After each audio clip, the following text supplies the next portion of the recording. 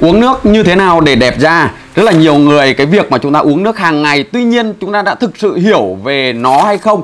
Và liệu chúng ta uống như thế nào làm sao cho nó hiệu quả Cũng như là giúp cho cái việc mà chúng ta trẻ hóa da Đó thì tình cờ bác sĩ Ngọc có nghe một câu hỏi của một bạn đó là Bác sĩ ơi, bây giờ da em khô thì em uống nhiều nước để mà cấp ẩm cho da có được không? Hay là nhiều người chúng ta bảo là Bây giờ thay vì em uống nước thì em uống nước ngọt hay uống bia rượu thì nó thay thế nước có được không? Thế thì đấy chính là cái nội dung mà ngày hôm nay thì bác sĩ Ngọc sẽ chia sẻ cho mọi người.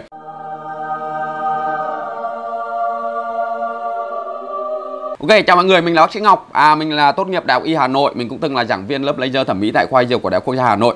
Và ngày hôm nay thì chúng ta sẽ cùng nhau trao đổi về một cái chủ đề đó là nước.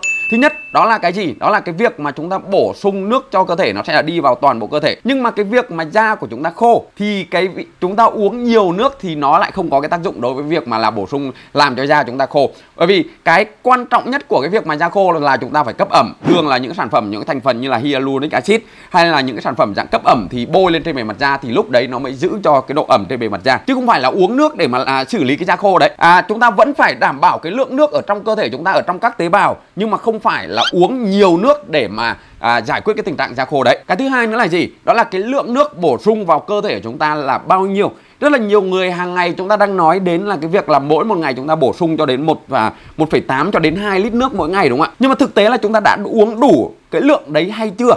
Thì đấy lại là một cái vấn đề. Bởi vì mỗi nếu như mà tầm khoảng cỡ 1,8 cho đến 2 lít nước thì mỗi ngày chúng ta sẽ phải uống đâu đấy tầm 8 cho đến 10 cốc nước kiểu như này.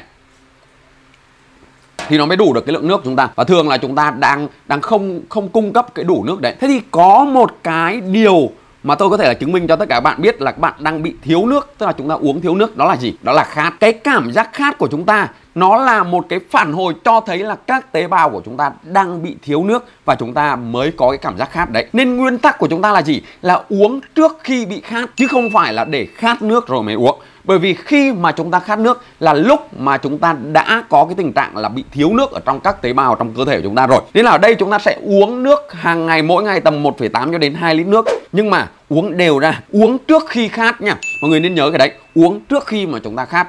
Cái thứ ba nữa là gì? Đó là thế thì thay vì mà chúng ta uống 1,8 cho đến 2 lít nước nhưng mà hàng ngày chúng ta vẫn là ăn canh này rồi chúng ta uống nước trong cả à, một số nước ngọt hay là tất cả các thứ đấy. Thế thì thường người ta sẽ thống kê như thế này. Đó là cái lượng nước mà chúng ta có trong canh này, trong hoa quả này, trong rau này thì nó chiếm đâu đấy tầm khoảng cỡ 1 lít nước gì đấy à, nó sẽ chiếm tầm khoảng cỡ 1 lít nước mỗi ngày.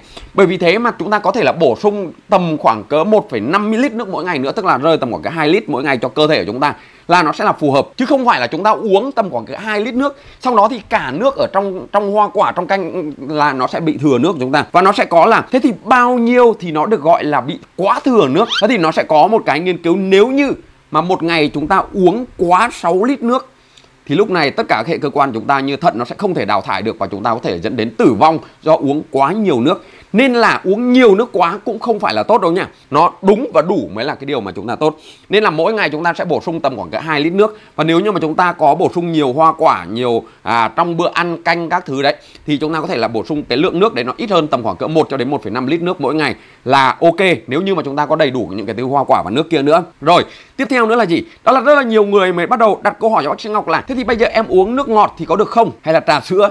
Trà sữa cũng rất là nhiều nước đúng không ạ? Nhưng mà xin thưa là những cái đồ ngọt, nước ngọt hay là trà sữa, nó rất là hại cho da của chúng ta. Khi mà chúng ta tập trung ở đây, chúng ta đang nói nước ở đây là gì? Đó là nước lọc này này. Nó sẽ bổ sung cho cơ thể của chúng ta, chứ không phải là nước ngọt. Bởi vì chính cái đồ ngọt đấy, khi mà chúng ta uống nước ngọt thì nó chứa hàm lượng đường trong đấy rất là cao. Và khi mà cái chứa hàm lượng đường rất là cao như thế, nó sẽ làm cho chúng ta rất là dễ bị béo phì. Và đấy cái là cái điều đầu tiên nó làm cho chúng ta bị xấu cái đã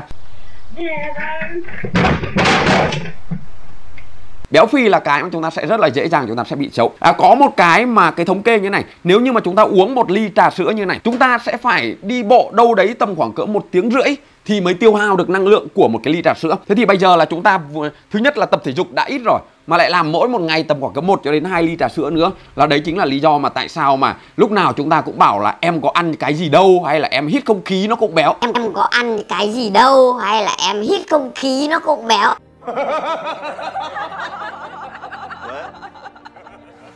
nhưng thực ra là một ly trà sữa nó đã chứa chứa rất là nhiều năng lượng nó làm cho da chúng ta trở nên bị béo phì và bị chảy xệ ra. Thì đấy chính là cái vấn đề mà chúng ta tại sao mà chúng ta uống nước nhưng mà không phải là đồ đồ ngọt. Cái nữa là gì? Đó là những cái đồ mà nước ngọt nước à, đồ có ga hay là nước ngọt nhiều đường ấy thì chính cái đồ ngọt đấy nó ngăn chặn quá trình tổng hợp collagen mọi người nên nhớ cái đấy. Cái quá trình tổng hợp collagen chúng ta nó có thể, nó cần bổ sung vitamin C hay là thành phần collagen. Nhưng mà chính là cái đồ ngọt, cái đường ấy, nó ngăn chặn quá trình tổng hợp lại.